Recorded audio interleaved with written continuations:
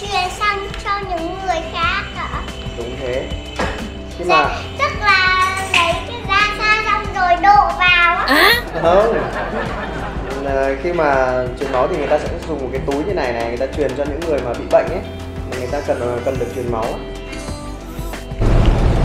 Xin chào quý vị và các bạn. Ngày hôm nay thì ờ, tôi sẽ đi hiến máu một cái buổi ờ, cuối tuần sắm quét.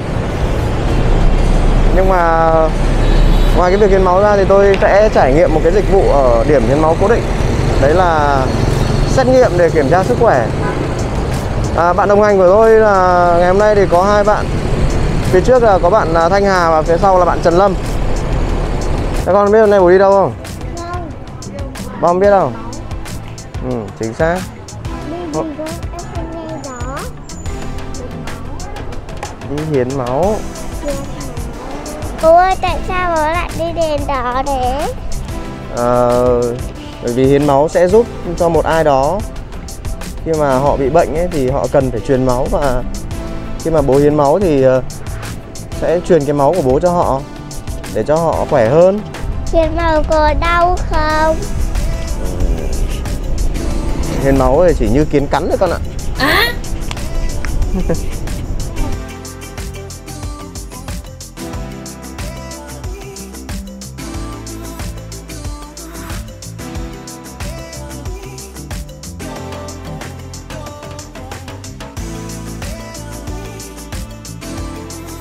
Thế là khi mà đến các cái điểm hiến máu ấy thì chúng ta nên à, đăng ký trước qua ứng dụng hiến máu. À, ở đây thì đây là ứng dụng hiến máu của tôi này.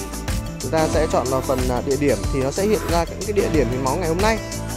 Đó, ngày hôm nay thì ở trên cái phần mềm có rất nhiều địa điểm và tôi sẽ chọn địa điểm là phòng khám đa khoa số 2 à, số 10 ngõ 102 đường Láng.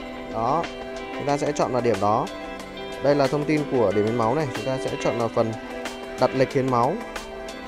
Đây có các cái câu hỏi giống như là trong cái tờ khai uh, uh, tham gia hiến máu của các bạn ấy. Đó chúng ta sẽ trả lời những câu hỏi trong và bấm xác nhận. Ok. Thế là lịch hiến máu của tôi ở đây. Đã có có một cái điểm uh, hiến máu ở đây rồi. Ờ, sau khi đăng ký xong thì uh, cái QR code chúng ta sẽ ở trên ờ, trang chủ đây là chị em ờ, đăng ký hiến máu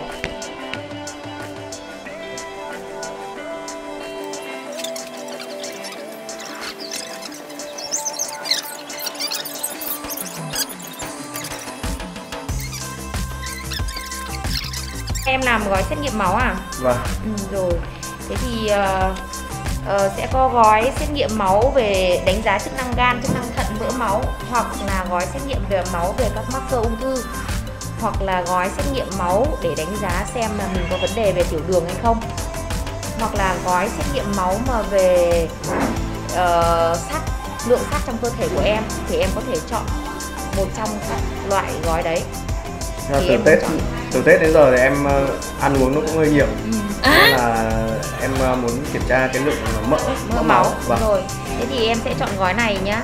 Em sẽ B7. được đúng rồi B7 em sẽ được cả về chức năng gan chức năng thận và mỡ máu luôn nhá. Ngoài ra thì mình có cái xét nghiệm mà bổ sung thêm làm dịch vụ ngoài không? Có. Thì ờ, cho em xem cái ờ, cái bản đấy nhỉ xét nghiệm này là xét nghiệm ngoài và sẽ phải ờ, trả thêm đúng đúng rồi. Vâng. còn là riêng cái gói B7 cũng như cái gói kia thì nhà mình sẽ được miễn phí nhá. Vâng. cái gói mà chị vừa tư vấn thì và cái gói ở trong cái tờ đăng ký hiến máu này là sẽ là được miễn phí. miễn phí. Còn Đúng rồi. nó là nó là quà tặng. Nó quà- là quà nó tặng. là quà tặng. Vâng. còn ờ, cái dịch vụ ở đây thì có nhiều dịch vụ không hả chị? Có rất nhiều những xét nghiệm nếu mà chúng ta muốn làm thêm để kiểm tra sức khỏe vâng.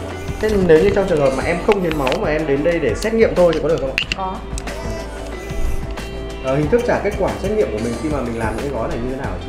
Mình sẽ ừ, trả qua thứ nhất là số điện thoại hoặc là email nhé. Email vâng. email.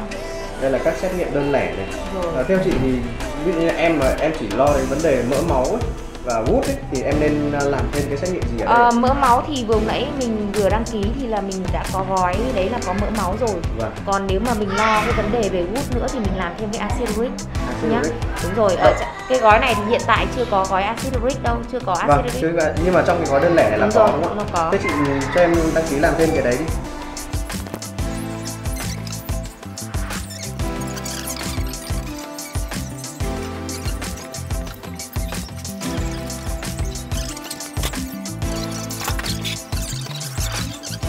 À, trong thời gian mà chờ cái kết quả xét nghiệm ấy, thì ờ, chúng ta sẽ làm một đến hai cốc trà đường. trà đường này ai pha ngon lắm. Đỉnh ấy. Uống thử không con? Giống như trà sữa vậy. Thử, thử miếng. Thử miếng. Ngon không? Cái kem ra đây. Như trà sữa. Trà đường mà như trà sữa. Em có cho sữa không này? Ờ, thử miếng. Cái đó có kết quả của mình rồi thì mình sẽ đi vào hiến máu nhé các bạn nhé.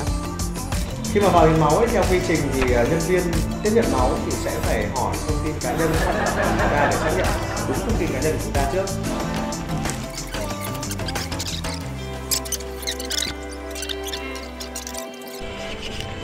sẽ truyền sang cho những người khác hả Đúng thế. Sẽ- Khi mà tức là lấy cái ra xa xong rồi đổ vào á không Ờ, khi mà truyền máu thì người ta sẽ dùng một cái túi như này này người ta truyền cho những người mà bị bệnh ấy mà người ta cần ờ, cần được truyền máu.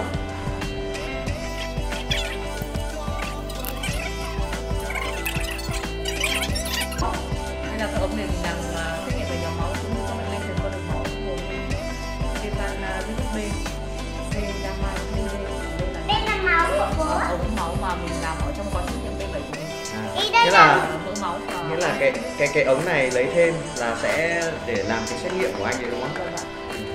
Quay gói B7 đấy. Rất là tiện các bạn ạ. Và cùng một lần lấy máu mình vừa tham gia hiến máu được mà lại vừa được một lần kiểm tra sức khỏe.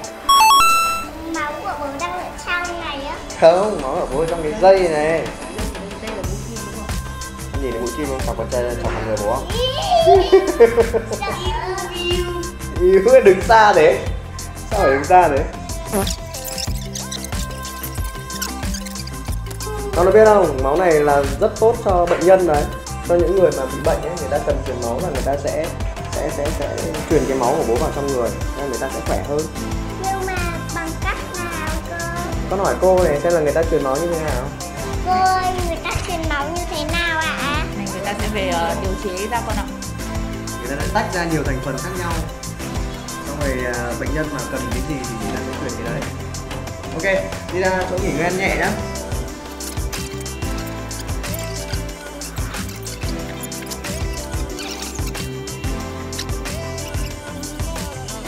hiến máu xong thì chúng ta sẽ nhận được một uh, giấy chứng nhận hiến máu tình nguyện uh, và 50.000 kinh phí hỗ trợ đi lại. Kết quả xét nghiệm sẽ được chuyển qua điện thoại hoặc email sau 2 đến 3 ngày. Xét nghiệm định kỳ để kiểm tra sức khỏe và các chỉ số máu rất cần thiết cho mọi người. Tại các điểm hiến máu cố định đã triển khai hàng trăm loại xét nghiệm phục vụ người dân. Tuy nhiên số người biết về dịch vụ này hiện tại còn rất hạn chế.